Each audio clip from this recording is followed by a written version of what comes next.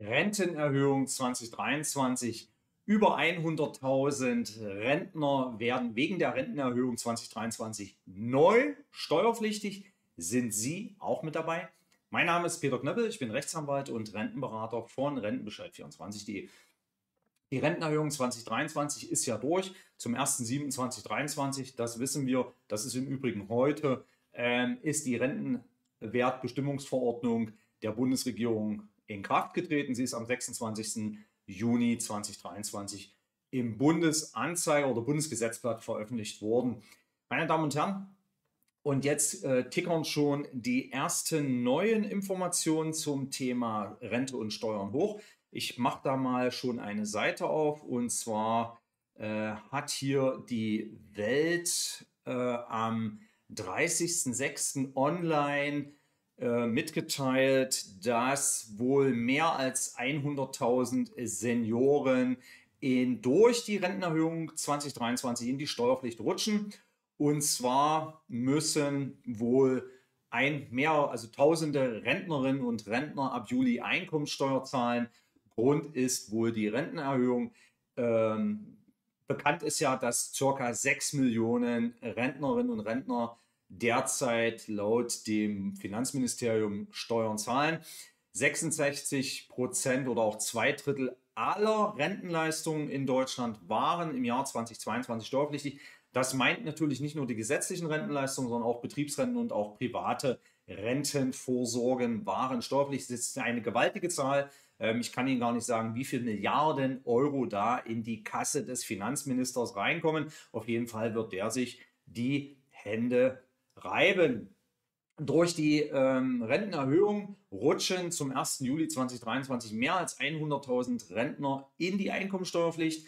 Und das ergibt sich wohl aus einem Bericht der Funke Mediengruppe vom Donnerstag, der, ähm, äh, welcher ähm, praktisch im Grunde genommen vom Bundesfinanzministerium ähm, herausgelassen wurde oder bestätigt worden ist.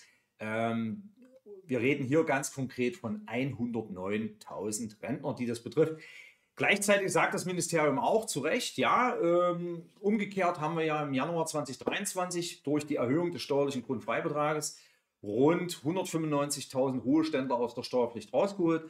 Und jetzt im, im Saldo sozusagen mit den 109.000 bleiben dann ca. 80.000 oder 88.000 dann übrig, die dann mehr steuerpflichtig sind. Also diese Zahlenspiele sind eigentlich völlig uninteressant, sondern viel interessanter ist jetzt die Frage, wie erfahren Sie als Rentner eigentlich davon, ob Sie steuerpflichtig sind? Und das ist eine ganz, das ist eine Frage, die kann man eigentlich relativ einfach beantworten. Im Steuerbescheid, äh, im Rentenbescheid, den Sie bekommen, steht das nicht drin. Im Rentenbescheid steht nicht drin, ob Sie steuerpflichtig sind. Ja? Sondern das können Sie nur herausfinden, indem Sie sich schlicht und ergreifend äh, hinsetzen und eine Vorausberechnung machen. Und wer das nicht kann, der sollte sich bitte zu seinem ähm, Steuerberater begeben oder zu einem Lohnsteuerhilfeverein, die dann die entsprechenden Vorausberechnungen machen. Äh, es gibt ja diese sogenannten steuerlichen Rentenbezugsmitteilungen und anhand dieser steuerlichen Rentenbezugsmitteilungen, die man von der deutschen Rentenversicherung übrigens abfordern kann, kann man relativ schnell und relativ einfach herausfinden, ob man steuerpflichtig wird oder nicht. Nochmal, in der Rentenanpassung, im Rentenanpassungsbescheid steht das nicht drin.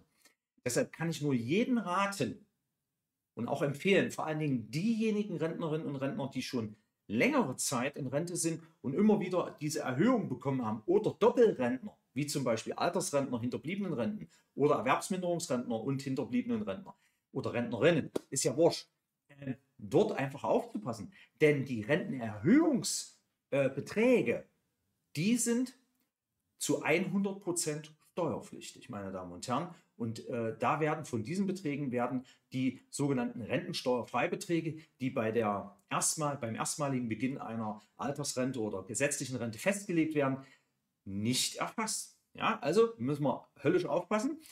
Also, Sie nehmen bitte, wenn Sie im Zweifel sind, Ihre Rentenanpassungsmitteilung, ähm, schreiben bitte die Deutsche Renten- oder Ihren Rentenversicherungsträger an, fordern die steuerlichen Rentenbezugsmitteilungen von 2022 ab vielleicht sogar noch ein Jahr mehr, dass man hier auch Sicherheit hat. Und dann gehen Sie bitte zu Ihrem Steuerberater oder zum Lohnsteuerhilfeverein oder Sie organisieren sich ein äh, entsprechendes äh, Programm, die im Übrigen auch im Handel erhältlich sind und auch zum Teil sehr, sehr gut sind, einfach strukturiert sind, aus meiner Sicht zumindest äh, nachvollziehbar sind. Und dann gibt man dort die Daten ein und bekommt dann ein Ergebnis. Meine Damen und Herren, wenn Sie dann das Ergebnis haben, sollten Sie sich vielleicht nochmal, äh, wenn Sie es jetzt selber machen mit der Berechnung, nochmal zu einem Lohnsteuerhilfeverein oder Steuerberater begeben, das nochmal abchecken, ob nicht hier vielleicht sogar eine nachträgliche Besteuerung für einige Jahre zurück noch ähm, kommen kann. Man weiß das ja nicht und dann würde möglicherweise ein böses Erwachen für Sie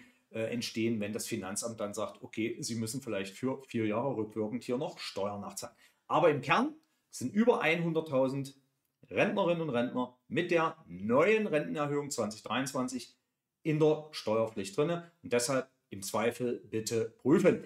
Näheres zum Thema Rente und Steuern finden Sie auf www.rentenbescheid24.de. Ich wünsche Ihnen wie immer eine rentenstarke Woche. Ihr Rechtsanwalt und Rentenberater Peter Knöppel.